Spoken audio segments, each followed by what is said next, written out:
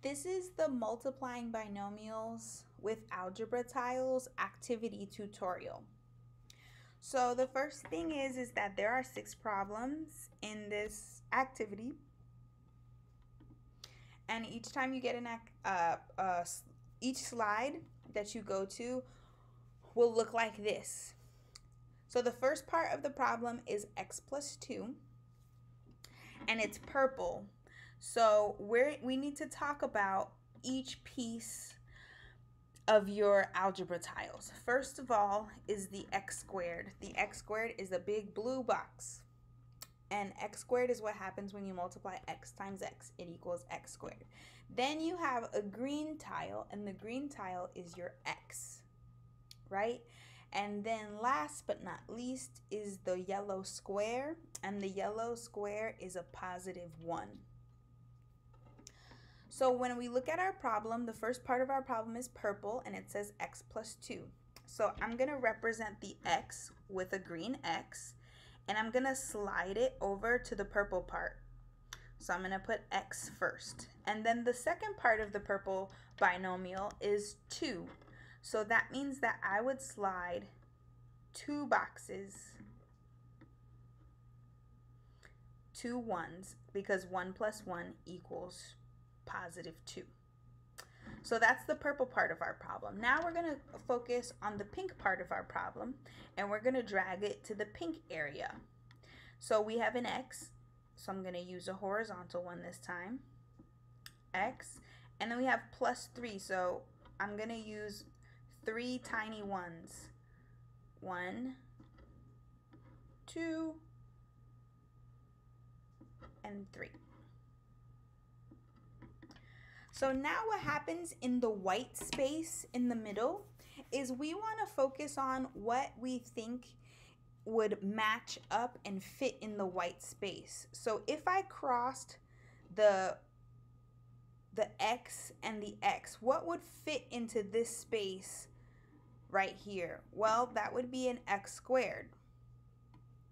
It fits perfectly in the space where the x and the x crosses. So where the x and the 1 cross, what would fit in that space is an x, which makes sense because x times 1 is 1x. And then I would do the same thing for the next two of those. x times 1 is 1x and then x times 1 is another 1x. So now we're going to move on to the bottom. And when we move on to the bottom, we're going to think the same way that we were thinking before. What times this green x up here times this 1 would fit into this space, this rectangular space down here? Well, it would be another x, this time a horizontal x. x times 1 again is going to fit into this horizontal space right here. So we're almost done. So we did x times x gives me x squared. We did x times 1, x times 1, we did x times 1, x times 1, x times 1. But now what we're doing in this little tiny space over here is 1 times 1. What's 1 times 1? If I have a plus 1 here and a plus 1 here, when they cross, what would they get? Well, 1 times 1, of course, is what? 1. So it's going to fit into that space. So you can imagine that into all the rest of the little spaces is going to be singular one squares, positive ones. Every time you finish a problem, there should be a perfectly, uh, perfectly shaped rectangle in your white space. And what is in your white space when I multiply the length times the width, um, which is another way that we could refer to the x plus 2 and the x plus 3, the length and the width. Um, now, what's inside the white box is your area. So, what is the total amount of area that we took up in the white space?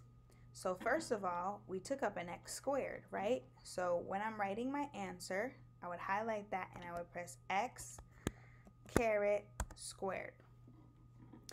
And then I'm going to count up how many X's I have. I have one, two, three, four, five x's. So I'm going to say, and they were both all positive, so plus 5x.